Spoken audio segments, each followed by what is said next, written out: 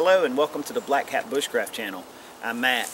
Today I wanted to give you a quick look at the late fall phase of the tulip poplar tree.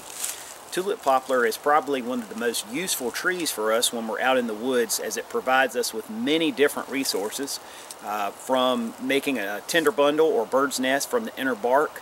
Uh, the inner bark can also be used to improvise cordage uh, the wood, when dry, makes uh, for excellent bow drill sets for making friction fire.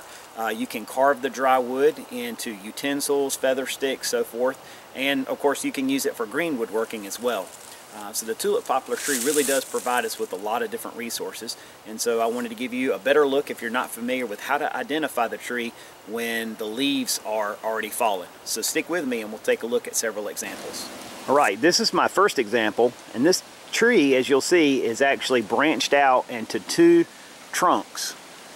And it's a very tall tree. Mature tulip poplar trees tend to be very, very tall. They'll be one of the tallest trees in the eastern woodlands as they'll rise up above the canopy of the forest in uh, attempt to get sunlight, of course, so that way it can achieve its photosynthesis.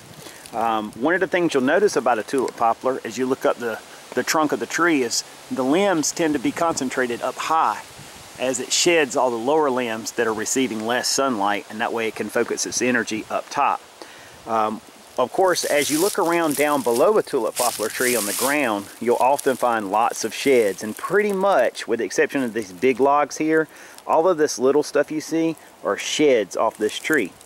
And the interesting thing about those sheds is every piece of it is covered with the dry inner bark. Let's see if I can find a better example. This one's better. And you can see it's got this stringy appearance to it. Hopefully this will show up on camera. But when you peel that bark back, you get long, fibrous strands.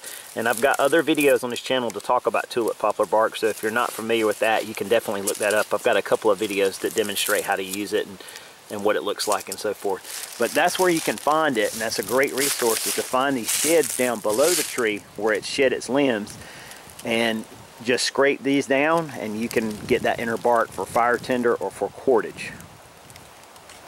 Here's another tulip poplar in this same general area.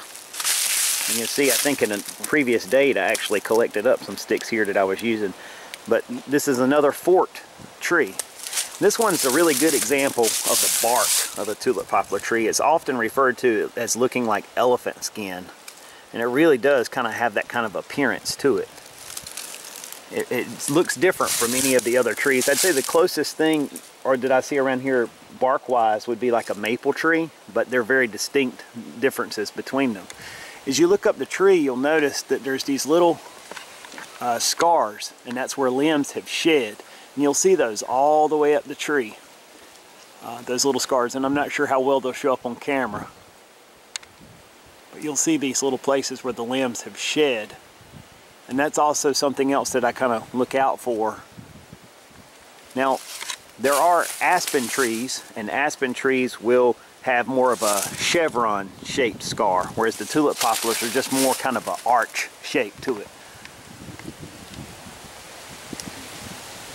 However, to some degree, the aspen bark can be used very much like a tulip poplar. And there are some leaves way up high in this tree. But at this distance, they're hard to make out really with, with just your eye. This is a really interesting example of a tulip poplar tree. I don't see many that look quite like this. But you can see maybe the original trunk got damaged in some way. I'm just guessing on that and it sprung out into three separate trunks and these are mature. A few leaves left at the top. You can see those shed marks. I'm not sure you're on the back side of the sun so you may not be able to see them. Give you a good look at the bark once again. That's definitely an interesting one there. It's like a reverse tripod. Um, I mentioned maple tree, so sometimes people may confuse those. Um, but with a maple tree, you're going to have segments that are furrowed like this, and then you'll get to a spot like that that's very smooth. You'll also notice a difference in the shape. The maple is kind of grows crooked. It has crooks in it, like that. So it has bends where it's kind of shaped asymmetrical, Whereas the tulip poplar trunk is normally very straight and vertical. So they grow straight up basically.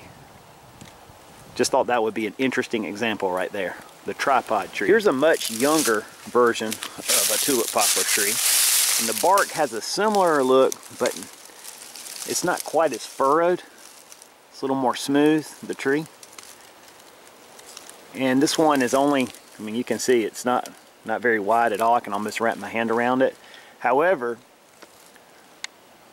it goes way up. But this tree is probably only a couple of years old because I believe, if I remember correctly, a tulip poplar tree can grow as much as 12 feet in one year. So it's a very fast growing tree. That's another look at a different, different age tree. So you can see the bark. And even with this tree, you can see those little scars where it's dropped its limbs. There's one there and all the way up. This tree is probably 30 foot tall. Maybe not quite. But very few limbs down low and they're concentrated up high. This is a tulip poplar that's mature that fell quite some time ago as it's starting to rot. That gives you a close-up on the bark. That bark hasn't deteriorated too much yet. That's a good look at it. Tulip poplar is a very soft wood, so you'll find a lot of times when we have storms and things like that, that the tops will break out of those trees. Here's one more example of the deadfall, and this has really got that antler look to it. Hopefully that shows up on the camera because the sunlight. You can see that fibrous bark. It'll catch your eye.